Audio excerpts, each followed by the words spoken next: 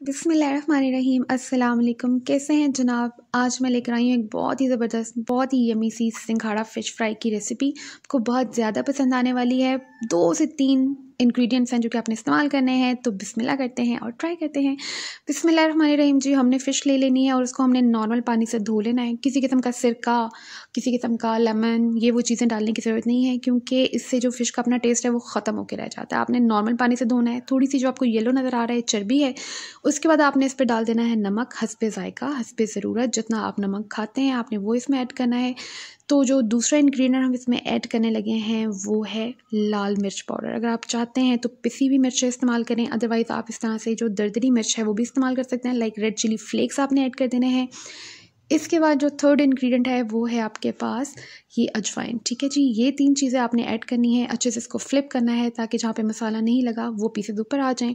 जब ये पीसेज ऊपर आएँगे तो आपने दोबारा से इसमें ऐड कर देना है। थोड़ा सा नमक और साथ ही थोड़ी सी मिर्चें और फिर आपने दोबारा से इसको अच्छे से फ्लिप कर लेना है।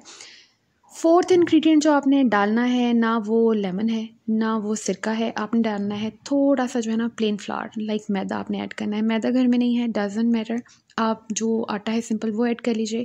हाँ जो चीज़ ऐड नहीं करनी, वो है बेसन। क्योंकि बेसन जब आप ऐड करते हैं तो वो अजीब से फ्लिप्स बन जाते हैं फ्राई करते हुए।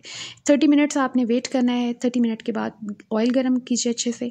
और बिस्मिल्लाह करके आपने जो ये फ़िश है, इसको फ्राई करना शुरू करना है।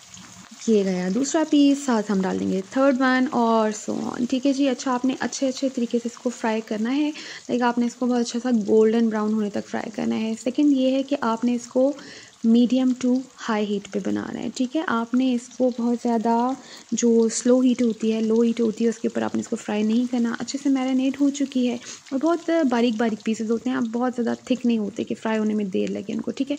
तो ये आपने इस हद तक इसको अच्छे से गोल्डन ब्राउन करना है और फिर उसके बाद जब आपको फील होगा कि बहुत अच्छी सी क्रिस्पी सी जो है वो हो गई है तो आपने करना ये है कि आपने इसको जो है वो निकाल लेना है। ठीक है जी?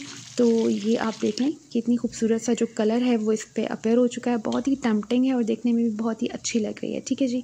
तो इस तरह करके गोल्डन ब्राउन होने तक आपने इसको बहुत अच्छे से फ्राई करना है। तकरीबन सात मिनट लगते हैं। रिमेनिंग फ़िश है, उसको भी आप अच्छे से फ्राई कर लें और उसको भी जो है ना वो आप निकाल लीजिए। तो ये आपने ज़बरदस्त जो फ़िश है, उसको आपने ट्राई करना है। बहुत ही ज़बरदस्त है, बहुत ही यमी है। बच्चे भी इसको बहुत शौक से खाते हैं कि इसके अंदर किसी किस्म का कांटा वगैरह जो है ना, वो निकालने वाली जहमत नहीं करनी पड़ती। वीडियो पसंद आए don't forget to hit the thumbs up button video को लाइक भी कीजिएगा शेयर भी कीजिएगा और आप इसको ट्राई ज़रूर कीजिएगा। And do let me know on my Instagram that इधर यू हैव ट्राइड इट और नॉट और सबसे मोस्ट इंपॉर्टेंट बात, अगर आप मेरे चैनल पर नए हैं तो मेरा चैनल सब्सक्राइब करना बिल्कुल मत भूलिएगा। नेक्स्ट वीडियो तक अपना ख्याल रखिएगा, मुझे दुआ में याद रखिएगा। अल्लाह हाफिज़।